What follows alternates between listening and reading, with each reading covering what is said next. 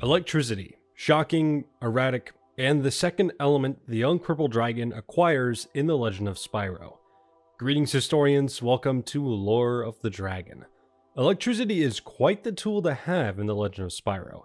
Mastered by both purple dragons and the guardian of the element Volteer, electricity is among one of the elements given major importance in the legend of Spyro. Outside of the games, from what I can find, it originally was supposed to be blue or purple, but ended up being yellow as we see in the games. Blue electricity was mentioned by Jared Polin on DeviantArt, and I was told of art of purple electricity that was found on an old Spyro archive, which I was shown the link for by CrystalBlazier.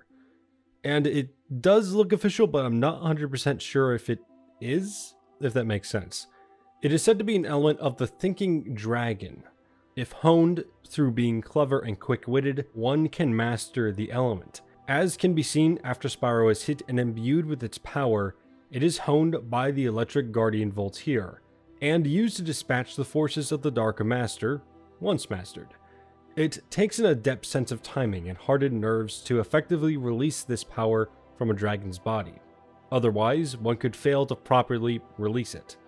For those who do, those dragons might have something of a higher intellect and are prone to talking quite a bit, which explains Volteer. It sounds like from what I've read, this is caused by the electricity element and or the training involved, which is quite interesting and I wonder if the training and element of other dragons affects their personality, but I digress.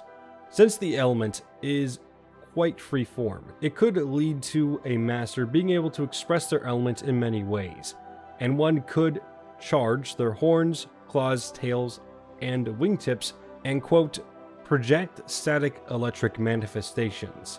This, I imagine, is like the elemental trails left behind by Spyro when he's swinging his tail and claws around with the other elements.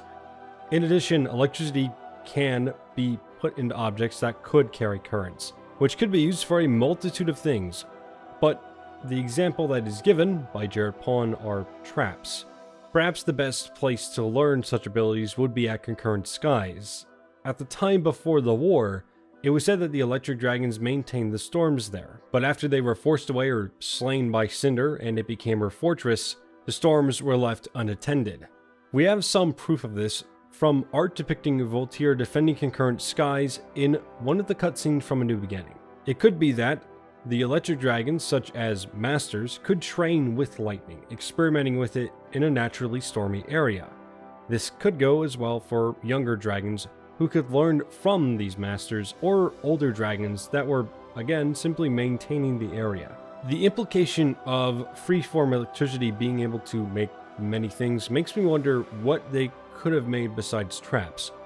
There are the conduits or sentries in concurrent skies made of electricity and crystal, and what's to say there aren't electric wires here and there, though that would be slightly advanced for what we see in The Legend of Spyro. Honestly, it is quite the powerful thing, as with electricity, the dragons could have made many wonders with it before the war. But that's just my own speculation, though it is fun to think about what could be when it comes to electricity. This even goes for colors.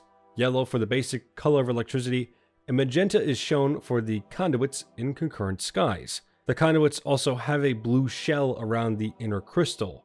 And again, blue was mentioned to be the color of electricity early as well as purple supposedly, but again I can't 100% confirm purple electricity. While there are many abilities associated with the electricity element, Spyro is only seen wielding a few, some even with the names attributed to them. These names from A New Beginning and the Eternal Night are Ikomar's Almighty Electric Storm, Penegar's Thundering Electric Arcs, Zygoren's Thundering Electric Orb, and the Fury of Angtor's Raging Storm. These masters have no lore attributed to them, much like their fire, ice, and earth counterparts. And the names of the abilities themselves I'm not sure to shed light on who they were, unfortunately. It would have been nice to perhaps see more into who these were and to actually see names in Dawn of the Dragon, but perhaps forever they will be confined to an elemental wheel. As always, a big thank you to my Patreons Jabby, Lazy Shaggy, Kiasushin, Lacko312, ConquerFan91, Abyssal Blue, and Nightmare Spyro. I'll see you all the next time we talk. Stay safe, historians.